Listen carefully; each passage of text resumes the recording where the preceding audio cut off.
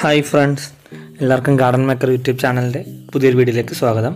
ഇന്നത്തെ വീഡിയോയിൽ നമ്മൾ നമ്മൾ മെയിന്റനൻസ് കുറയ്ക്കാൻ വേണ്ടിയിട്ട് നമ്മൾ പെബിൾസ് വീടിന്റെ ഗാർഡനിലൊക്കെ യൂസ് ചെയ്യാറുണ്ട്. അപ്പോൾ നമ്മൾ ഇവിടുത്തെ വീട്ടിൽ മെയിന്റനൻസ് വേണ്ടാത്തതുകൊണ്ട് നമ്മൾ എല്ലാ ഏരിയയിലും ഫുള്ള് പെബിൾസാണ് ഫില്ല് ചെയ്തത്. അപ്പോൾ നമ്മൾ പോണ്ടിച്ചേരി പെബിൾസാണ് ഏറ്റവും റേറ്റ് കുറവിൽ നമുക്കിങ്ങനെ ഇടാനായിട്ട് കിട്ടുക. അപ്പോൾ നമ്മൾ അതിന്റെ ഇടുന്നതിനെക്കുറിച്ചുള്ള വീഡിയോ ആണ്. ഇപ്പോൾ വീഡിയോയിൽ നമ്മൾ എത്ര ഏരിയയിലേക്ക് എത്ര ക്വാണ്ടിറ്റി പേബിൾസ് വാങ്ങണം ഇതിനെക്കുറിച്ചൊക്കെയുള്ള കാര്യങ്ങളൊക്കെ ഡീറ്റെയിൽ ആയിട്ട് സംസാരിക്കുന്നുണ്ട്. അപ്പോൾ എല്ലാവരും വീഡിയോ മുഴുവനായിട്ട് കാണുക. അപ്പോൾ നമ്മൾ പേബിൾസ് കിട്ടുന്നതിന്റെ ഫൈനലായിട്ടുള്ള വീഡിയോയും ഷൂട്ട് ചെയ്തിട്ടുണ്ട് ലാസ്റ്റ് കാണിക്കുന്നുണ്ട്.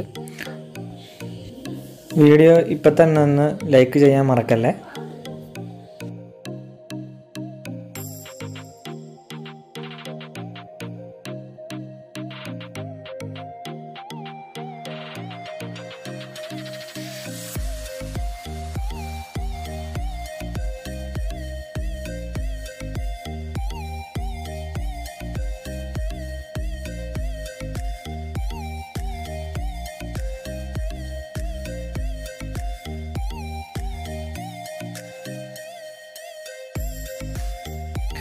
നമ്മൾ പെബിൾസ് ഇടുന്നതിന് മുമ്പായിട്ട് അടിയിൽ ബേബി മെറ്റൽ ഇടുന്നത് കുറച്ച് നല്ലതാണ്.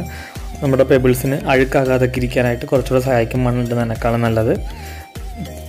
അതുകൂടാതെ നമുക്ക് ഈ പെബിൾസ് ഇടുന്നതിന് മുമ്പായിട്ട് മണ്ണിന്റെ മുകൾ ഭാഗത്തായിട്ട് നമുക്ക് മച്ചിങ് ഷീറ്റ് എന്ന് പറഞ്ഞ ബ്ലാക്ക് കളറിലെ ഷീറ്റ് കിട്ടും. നമ്മൾ നേഴ്സറിയിലൊക്കെ നമ്മൾ നിലത്തിടാനായിട്ട് ഉപയോഗിക്കുന്ന ഷീറ്റ് നമ്മൾ വെള്ളം താഴോട്ട് ഇറങ്ങുകയും ചെയ്യും.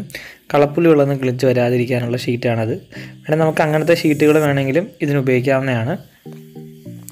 അപ്പോൾ അങ്ങനെ ചെയ്യുമ്പോൾ കളപ്പുല്ലുകൾ വളരുക എന്നുള്ളത് ഭയങ്കര കുറവായിരിക്കും. ഇതിലൂടെ കിളിച്ച് വരുന്നത്. അപ്പോൾ നമുക്ക് ഒട്ടും മെയിന്റനൻസ് ഇല്ലാതെ തന്നെ നമ്മുടെ ഗാർഡൻ ചെയ്യാൻ സാധിക്കും. പോണ്ടിച്ചേരി പെബിൾസ് വരുമ്പം അതിൽ ഫുള്ള് അഴുക്കൊക്കെ ആയിട്ടായിരിക്കും നമ്മുടെ പെബിൾസ് വരിക. നമ്മൾ അങ്ങനത്തെ പെബിൾസുകൾ ഫുള്ള് വാഷ് ചെയ്തിട്ട് വേണം നമുക്കിങ്ങനെ നിരത്തിയിടാനായിട്ട് നിരത്തിയിട്ടതിന് ശേഷം വെള്ളം ഒഴിച്ച് കഴുകിയാലും മതി.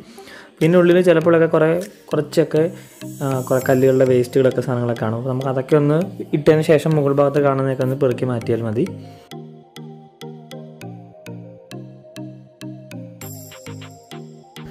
അപ്പോൾ നമ്മൾക്ക് ഇങ്ങനെ പേബിൾസ് ഫില്ല് ചെയ്യുന്നതിന് ഏകദേശം ഒരു സ്ക്വയർ ഫീറ്റിന് ഏകദേശം ഏഴ് കിലോ വരെ പേബിൾസ് ആണ് വേണ്ടി വരിക.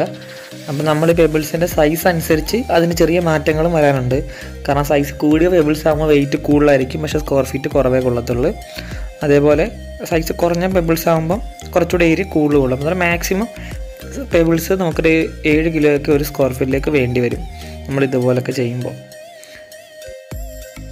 അപ്പോൾ ഇതുപോലുള്ള ഗാർഡൻ റിലേറ്റഡ് ആയിട്ടുള്ള വീഡിയോസും കാര്യങ്ങളൊക്കെയാണ് നമ്മൾ നമ്മുടെ ചാനലിൽ കാണിക്കുന്നത് അപ്പം വീഡിയോസ് ഇഷ്ടപ്പെട്ടാൽ ചാനലൊന്ന് കയറി കൂടുതൽ വീഡിയോസ് ഒന്ന് കണ്ടു നോക്കാനും ഗാർഡന്റെ കുറേ കാര്യങ്ങളൊക്കെ അറിയാനൊക്കെ ആയിട്ട് നമ്മുടെ ചാനൽ സഹായിക്കും.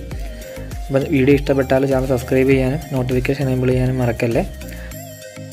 Thank you for watching